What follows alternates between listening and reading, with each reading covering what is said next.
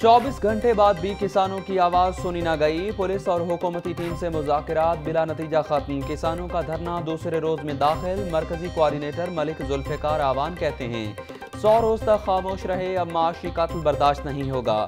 کسانوں پر جھوٹے مقدمات درج کر کے ڈرایا، دھمکایا جا رہا ہے۔ وزیر اعلیٰ خود آ کر مطالبات پورے کرنے کی یقین دہانی کرائیں۔ کسانوں کا سردی میں ٹھوکر نیاز بیگ پر پڑاؤ، بستر کھلے، آسمان تلے بچھا لیے۔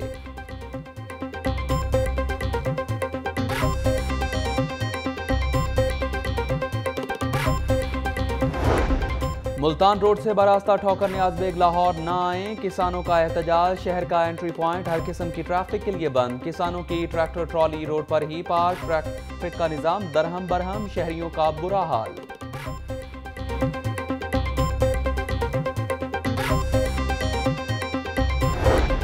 ریمانڈ ختم۔ آج پھر بڑی پیشی۔ آشیانہ سکینڈل میں گرفتار شہباز شریف کو احتساب عدالت پیش کیا جائے گا۔ نیب حکام شہباز شریف کے مزید جسمانی ریمانڈ کی استدا کریں گے۔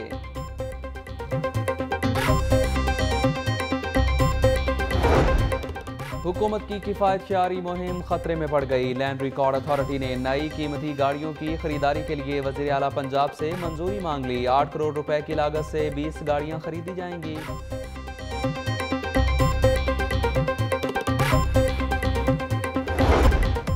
اور غیر قانونی ہاؤسنگ اسکیمیں محکمہ اینٹی کرپشن کے ریڈار پر آ گئیں۔ اینٹی کرپشن نے ایل ڈی اے سے مختلف ہاؤسنگ اسکیموں کا ریکارڈ بھی مانگ لیا۔ حکام کو دس دسمبر کو ریکارڈ سمیت پیش ہونے کی ہدایات۔